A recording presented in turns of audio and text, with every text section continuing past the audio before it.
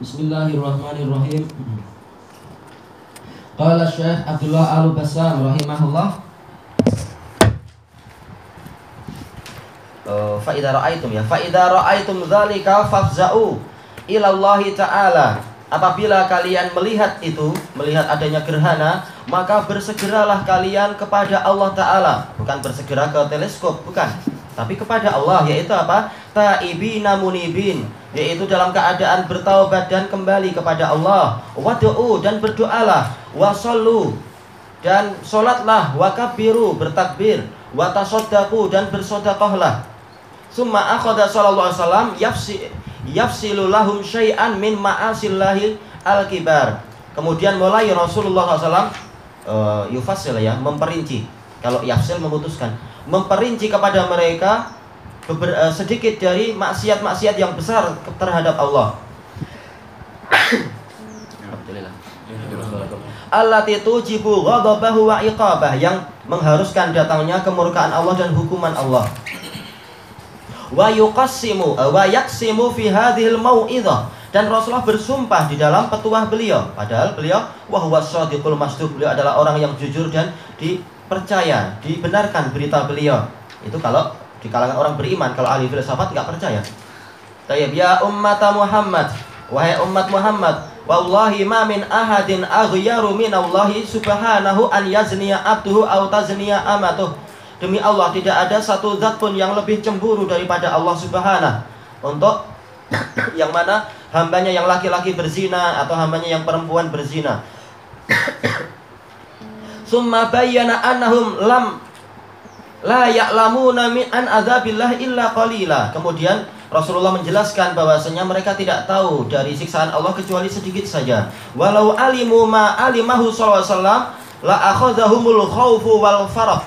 Seandainya mereka tahu apa yang diketahui oleh Rasulullah SAW, niscaya mereka akan tertimpa ketakutan dan rasa gentar. Tayyib. Waladhahiku sururan qalilan. Niscaya mereka kalaupun tertawa gembira itu sedikit wala bakau waghtammu katsiran dan niscaya mereka akan menangis dan gundah banyak sekali. Iya, barang siapa melihat siksaan Allah tentunya apa dia tidak akan kuat itu. Sebagaimana disebutkan oleh Syekh Abdul Rakib Al-Ibi Habibullah Ta'ala dalam kitab Karamatul Aliyah dan sanadnya sahih ada seorang tabi'in dia sedang jalan di sebuah pekuburan tua. Tabi'in bukan penakut. Ahli tauhid enggak takut walaupun enggak punya hubungan dengan bomo atau apa pun apa ahli tauhid nggak takut. Nah Allah ngasih ujian yang lebih besar. Tapi nggak apa-apa. Kemudian apa? Tiba-tiba saja di salah satu kubur itu keluar orang melompat keluar dari kubur dalam keadaan penuh api. Hmm. mampu lari juga dia. Tapi apa? Di, dalam keadaan badannya itu dirantai. Dan rantainya juga terbuat dari api. Mengatakan tolong aku kasih aku air. Ketakutan dia siapa ini masuk keluar dari kubur kemudian di belakangnya keluar satu orang lagi. Menarik kubur eh, menarik apa? Menarik besi tadi itu rantai tadi. Mengatakan wahai hamba Allah jangan kasih dia air minum. Dia itu adalah orang jahat. Kemudian apa? Ditarik dan masuk lagi ke alam kubur. Nah, disiksa lagi di dalam. Nah, dia pulang ke rumah dia mengatakan sekian hari saya nggak mampu makan. Iya ngeri. Kalau kita bayangkan sekarang nggak masalah sekedar bayangkan tapi ketika betul-betul lihat nah, mungkin baru terasa betapa menakutkannya kejadian semacam itu. Hmm.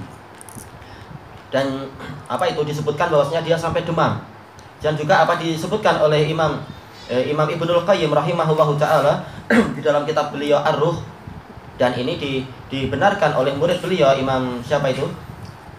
Ibnu Rajab Al-Hambali di dalam kitab beliau Ahwalul Kubur Imam Ibnul Qayyim menceritakan dari teman beliau yang terpercaya yaitu ketika orang ini sedang berjalan di luar e, luar benteng Syam dan melewati apa melewati kubur.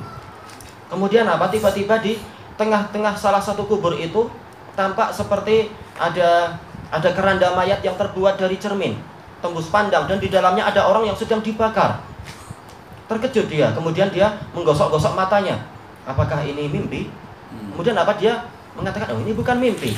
Kemudian dia lihat dinding benteng dari apa kota Syam dan memang masih ada di situ. Oh, berarti ini bukan mimpi. Dan waktu itu memang matahari sudah hampir terbenam.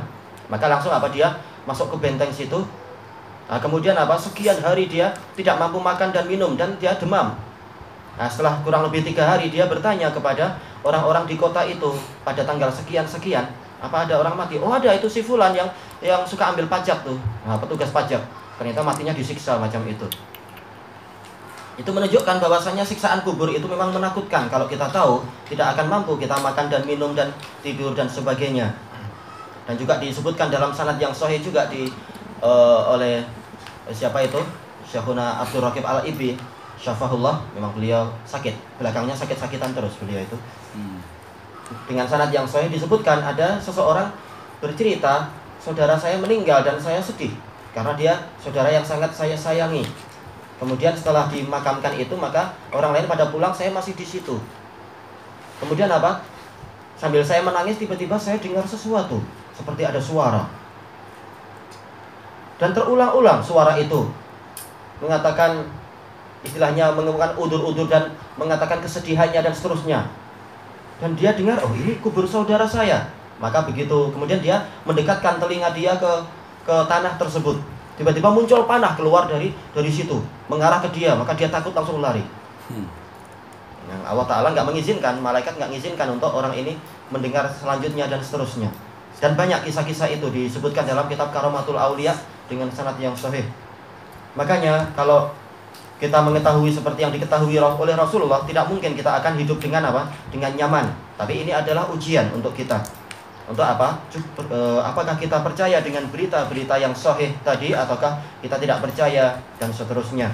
Sementara Rasulullah seperti yang disebutkan oleh Imam Ibnul Qayyim rahimahullah taala di dalam uh, kitab beliau Raudatul Muhibbin, jiwa beliau tidak seperti jiwa manusia yang lain. Jiwa beliau itu betul-betul sangat kuat dan tidak goncang. Berapa banyak para tabi'in yang ketika apa?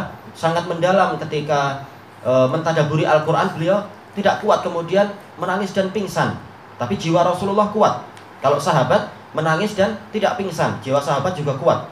Nah, bagaimana dengan orang-orang yang setelah itu, yang bukan hanya mentadaburi Quran, bahkan mendengar teriakan-teriakan di alam kubur atau mendengar tangisan, nih saya apa? Mereka tidak akan hidup dengan nyaman setelah itu. Maka ini adalah hikmah dari Allah untuk alam kubur itu dihijabi dari kita. Dan kita lanjutkan kal Rabbana ajirna min azabik. Eh, Rabbana ajirna tanpa tasdid. Wahai Rabb kami, lindungilah kami dari siksaanmu. Warhamna birahmatik. Dan rahmatilah kami dengan kasih sayangmu. Allati wasiat kulla syai' yang meliputi segala sesuatu. Wa walidina dan juga ayah ibu kami. Wa masyayikhina dan para masyayikh kami, para guru kami. Wa aqaribina dan sanak kerabat kami. Wal muslimina ajma'ina amin. Dan muslimin semuanya. Kabulkanlah ya Allah. Jayid, mendoakan semua.